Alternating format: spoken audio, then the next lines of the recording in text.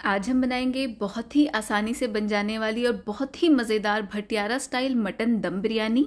दम बिरयानी बनाने के लिए सबसे पहले हमें मटन को मैरिनेट करना होता है तो उसके लिए यहाँ पे मैंने 600 ग्राम मटन लिया है।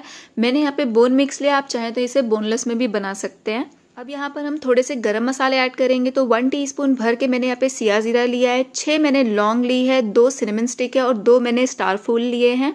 अब मैं यहाँ पर एक टीस्पून मीट टेंडराइज़र ऐड कर रही हूँ। अगर आपके पास है तो ऐड करें, वरना इसकी जगह पे आप एक टेबलस्पून भर के कच्चे पपैये का पेस्ट भी ऐड कर सकते हैं।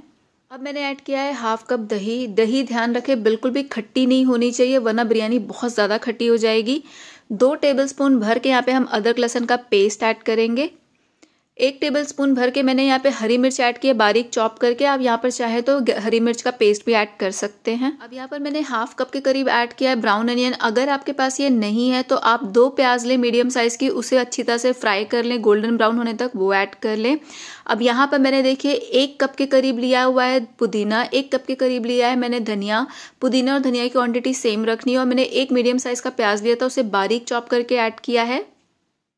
अब हम यहाँ पर ऐड करेंगे पाउडर मसाले। तो यहाँ पर मैंने एक टेबल स्पून भर के लिया हुआ है। लाल मिर्च है, तीखी लाल मिर्च है। वन टीस्पून गरम मसाला ऐड किया है। वन टेबल स्पून भर के यहाँ पे मैंने लिया है धनिया पाउडर और हाफ़ टी स्पून मैंने यहाँ पर लिया हुआ है ज़ीरा पाउडर, हाफ़ टी स्पून यहाँ पे मैंने लौंग का पाउडर लिया और हाफ़ टी स्पून मैंने यहाँ पे लिया हुआ है सिनेमन का पाउडर। अगर आप ये ऐड करते हैं तो आपको बिरयानी मसाला ऐड करने की ज़रूरत नहीं है और हाफ़ टी स्पून यहाँ पर मैंने इलायची पाउडर ऐड किया है। इन सारे मसाले के बाद आपको कोई और मसाला ऐड करने की ज़रूरत नहीं है यहाँ पर। अब यहाँ पर मैंने नमक ऐड किया है वन टी भर के, आप नमक अपने टेस्ट के हिसाब से ऐड करें। आठ से दस यहाँ पर हम ऐड कर देंगे सैफरन के स्ट्रैंड्स अगर आपके पास है तो ऐड करें, वरना स्किप कर दें। वन टीस्पून यहाँ पे मैंने लेमन जूस ऐड किया है। लेमन जूस ऐड करने से पहले आप दही को चेक कर लें। अगर दही ज़्यादा खट्टी है तो लेमन जूस स्किप कर दें। अब हम यहाँ पर हाफ़ कप ऑयल डालेंगे। अगर आपने प्याज को घर में फ्राई किया है तो जिस ऑयल में आप प्याज फ्राई करें, वही ऑयल इसमें यूज़ कर लें। अब इन सारी चीज़ों का अच्छी तरीके से मिक्स कर लेंगे। अब यहाँ पर देखिए, ये मैंने मिक्स कर लिया है। अब हम यहाँ पर ऐड करेंगे पानी। यहाँ पे सिर्फ़ मैंने वन फोर्थ कप के करीब पानी डाला। है पानी बहुत ज़्यादा नहीं ऐड करना है। इसे भी अच्छी तरह से मिक्स कर लेंगे एक बार। अब हमें इसे मैरिनेट करना है। तो मैं इसे एक घंटे के लिए मैरिनेट करने वाली हूँ। आप चाहें तो इसे डेढ़ से दो घंटे के लिए भी मैरिनेट कर सकते हैं। अगर ठंडा क्लाइमेट है तो आप इसे बाहर ही में रहने दें। और पर अगर गर्मी है तो आप इसे फ्रिज में ही रखें, वरना इसमें से स्मेल आने लगेगी। तो जब तक ये मैरिनेट हो रहा है, हम चावल देख लेते हैं तो यहाँ पर मैंने दो कप चावल लिया है और उसे अच्छी तरह से धो लिया है, बासमती राइस का यूज़ किया है। अब हम इसे सोक करने वाले हैं तो इसे हम इतना पानी डालेंगे कि चावल से एक डेढ़ इंच ऊपर पानी होना चाहिए। अब इन चावलों को मैं आधे घंटे तक सोक करने वाली हूँ। तो चावलों को बॉईल करने के लिए यहाँ पर मैंने पानी ले लिया है। मैंने दो कप चावल लिए थे तो मैंने यहाँ पे चार से छः कप पानी यूज़ किया है इसे बॉईल करने के लिए। जितना ज़्यादा पानी आप बॉईल करने के लिए यूज़ करेंगे, उतना अच्छा चावल बॉईल होता है। अब हम इसमें डालेंगे थोड़े से होल स्पाइसेस तो यहाँ पर मैंने लिया है एक तेज़ पत्ता चार लौंग ली है, दो मैंने यहाँ पर स्टार फूल लिए हैं, दो यहाँ पर सिनेमन स्टिक ली है एक इलायची ली और एक मैंने यहाँ पर सिया ज़ीरा लिया है। अगर आपके पास नहीं है तो आप यहाँ पर सफ़ेद ज़ीरा भी यूज़ कर सकते हैं। थोड़ा सा हम यहाँ पर ऐड कर देंगे हरा धनिया और पुदीना। अब हम यहाँ पर ऐड करेंगे हाफ़ टी स्पून इलायची पाउडर अगर आपके पास नहीं है तो आप दो इलायची हरी वाली डाल दें। यहाँ पर मैं नमक ऐड कर रही हूँ। नमक आपने इतना डालना है कि जब आप पानी टेस्ट करें तो हल्का खारा टेस्ट आना चाहिए पानी का। अब हम यहाँ पर ऐड करेंगे एक टेबल स्पून भर के ऑयल। आप ऑयल की जगह पे घी भी ऐड कर सकते हैं। अब हम इसे ढक देंगे और हाई हीट पे इस पर बॉयल आने देंगे। एकदम अच्छा बॉयल आने देना है हमें। तो ये देखिए, यहाँ पर काफ़ी अच्छा बॉईल आने लगा है। जब इतना बॉईल आने लगे, उसके बाद ही हमें इसमें चावल ऐड करना है। तो जो बासमती चावल हमने सोख करके रखे थे, वो ऐड करेंगे। जो बासमती चावल में हमने जो पानी में सोखे था, वो पानी बिल्कुल ऐड नहीं करना है। वो पानी आपने फेंक देना है। अब हल्के हाथों से चावलों को इस तरह से मिक्स करेंगे, हिलाएँगे, खड़े चम्मच से हिलाना है। अगर आप डायरेक्ट ऐसे ही हिला देंगे तो फिर चावल टूट जाएँगे, क्योंकि ये सोख किए हुए हैं। अब हम इसे हाई हीट पर बॉयल आने देंगे। तो ये देखिए, यहाँ पर चावल में काफ़ी अच्छा बॉईल आ गया यहाँ पे हम हैदराबादी दम बिरयानी बना रहे हैं तो इसमें हम चावलों को सिर्फ़ फिफ्टी टू सिक्सटी परसेंट ही बॉईल करते हैं। बहुत ज़्यादा बॉईल नहीं करना होता है। तो मैं आपको बता देती हूँ, हमें कितना बॉईल करना है। ये देखिए, बहुत ज़्यादा इसमें बॉईल आने का वेट नहीं करना। जब एक बार बॉईल आना स्टार्ट हो जाए और इतना चावल हमारा पक जाए, तब हमें इसे निकाल लेना है। अब इन चावलों को हम स्ट्रेनर से निकाल लेंगे, इस तरह से जितना हो सके पानी स्ट्रेन कर देंगे और चावलों को डायरेक्ट जहाँ पे हमने मटन मैरिनेट किया था, उसी के ऊपर इस तरह से हमें लगा देना है। चावलों को बहुत ज़्यादा बिल्कुल नहीं पकाएँगे, वरना चावल बहुत ज़्यादा गल जाएँगे जब बिरयानी पूरी दम होगी उस प्रोसेस में। तो इसी तरह से सारे चावल मैं निकाल लूँगी और इसके ऊपर हम ऐसी लेयर लगा देंगे, पूरी तरफ़ अच्छी तरह से इसे स्प्रेड कर देना है हमें चावलों को। तो यहाँ पे मैंने सारे चावलों की लेयर लगा दी है।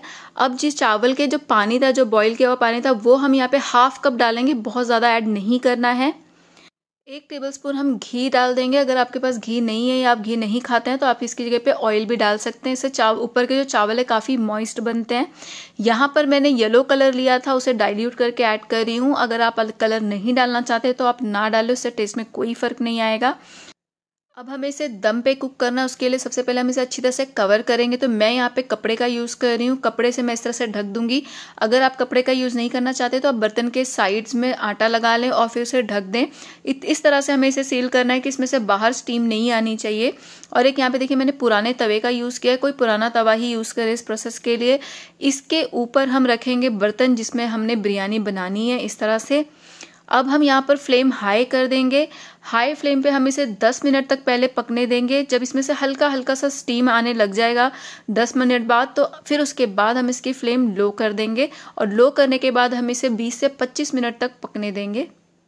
अब यहाँ पे बिरयानी को मैंने हाई हीट पे 10 मिनट तक पका लिया है। अब यहाँ पे मैंने फ्लेम देखिए एकदम लो कर दी है, दम की हीट पर कर दी है। अब हम इसे 20 से 25 मिनट तक आराम से पकने देंगे या जब तक हमारी बिरयानी कम्प्लीटली कुक नहीं हो जाती, तब तक हम इसे दम पे ही पकाएँगे।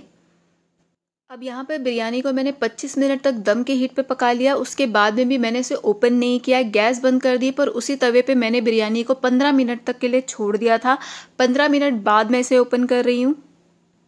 तो यहाँ पर देखिए, हमारी बिरयानी परफेक्टली बन के रेडी हो गई है। चावल तो यहाँ पे बहुत सही पके हुए देखिए, बिल्कुल भी कच्चे नहीं, जबकि हमने सिर्फ़ 50 टू 60 परसेंट ही चावलों को कुक किया था और चावलों में लेंथ भी बहुत अच्छी आई है। अब इस तरह से खड़ा चम्मच डाल के हम चेक करेंगे और अगर मसाले में आपको चम्मच पर पानी लगा हुआ दिखता है तो इट मीन्स कि हमारा मसाला नहीं पका है। और अगर आपको इस तरह से ऑयल दिख रहा है, इसका मतलब कि हमारा मसाला अंदर से अच्छी तरह से पक गया है। अगर इस स्टेज पे आपको ऐसा लग रहा है कि आपके मसाले में कच्चापन है या पानी दिख रहा है तो आप इसे दोबारा ढक दें और दम के हीट पे पाँच से दस मिनट इसे दोबारा पका लें। ये रेडी हो जाएगा। तो देखिए, इस तरह से चावलों को हल्के हाथों से हम पीछे कर लेंगे। चावल बासमती राइस यूज़ किया है तो ये बहुत नाजुक होते हैं और अभी बिरयानी बहुत गर्म है तो ये आसानी से टूट जाएँगे। और यहाँ पर हमारी बिरयानी का मसाला है। अब हम क्या करेंगे, इसे थोड़ी देर के लिए ढक के 10 से 15 मिनट के लिए छोड़ देंगे तो उससे हमारे चावल भी थोड़े सेटल हो जाएँगे। उसके बाद में हम इसे सर्व करेंगे। अब यहाँ पर हमारी गर्मा गर्म भटियारा स्टाइल चटपटी, मज़ेदार दम बिरयानी बनके रेडी है। आप इस रेसिपी को ज़रूर ट्राई करना। उम्मीद करती हूँ आपको ये बहुत बहुत पसंद आएगी। वीडियो अच्छी लगी हो तो प्लीज़ इसे लाइक करें, फ्रेंड्स एंड फैमिली में शेयर करें और इसी तरीके की मज़ेदार चटपटी रेसिपीज़ के लिए प्लीज़ चैनल को सब्सक्राइब कर लें।